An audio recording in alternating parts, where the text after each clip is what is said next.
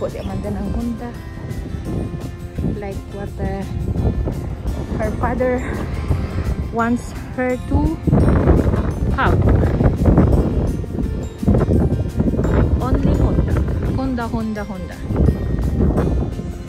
Andyan po sila sa taas. Nag...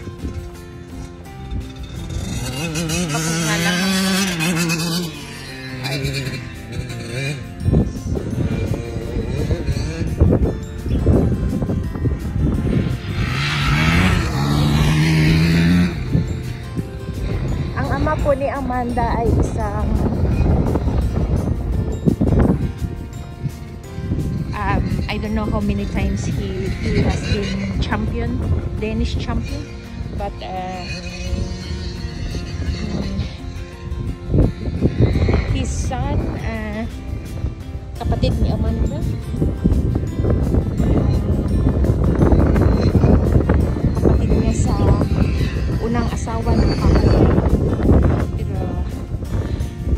ding Danish champion. So, may pinagmanahan ang banding. Yan. Uh, tulungan siya ng tatay niya. You have to start fight again. That's the drive. Practice.